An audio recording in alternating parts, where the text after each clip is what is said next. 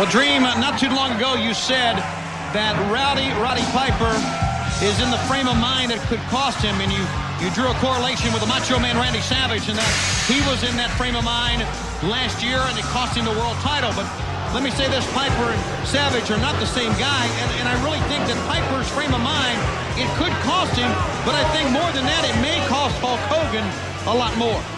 Hogan's the player. In both cases, both guys we mentioned, Hogan was the single uh, factor that they had in common. His game plan was to destroy them or put them, use their families, use, like he did Elizabeth, like he did Colt, use their families to put them in a frame of mind to where they are irrational when they go in there. Roddy Piper was the was the Fonzie of our era. He was cool. And he when he remained when he walked out in Vegas, he was cool. When he came to play with the big boys play at WCW, he was cool. If Hogan takes that coolness away from him and he gets in that that spontaneous combustion attitude that he's got, it could hurt him. It could keep him from winning the world's title and could definitely hurt him. Go ahead and, and be crazy like a crazed dog when the match starts. But right now, Hogan's got him just the way he wants him, thinking about uh, you know, being at an unrest. See what I'm saying? You know, we can't make no bones about it. Tony, great athletes have been at other places. Oh, you know what I mean? Yes. But they have all come to this point in their careers to where this is the biggest, the best, and this is what's going on. They got so much to prove late in their career. I know they aren't late bloomers. They superstars, the two biggest of all time.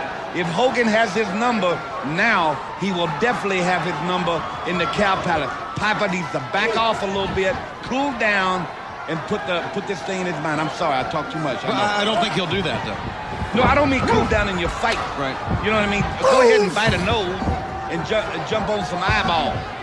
You know, but Look at this pickup, Dusty. It's the roadblock. We got a matching ring. One, two, three. All right. Well, who won this thing? Big roadblock. Both of them big men.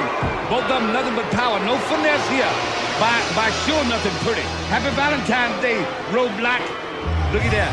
Say Roadblock has become a force in the sport, and Sledgehammer, a big, powerful man as well.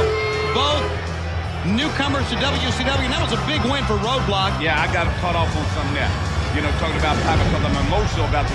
I, I call him a kid because he's a few years younger than me, but he is right here. You see Roadblock going ahead and getting a one, two, three on the way to the pay window Saturday night. The mothership rocking and rolling.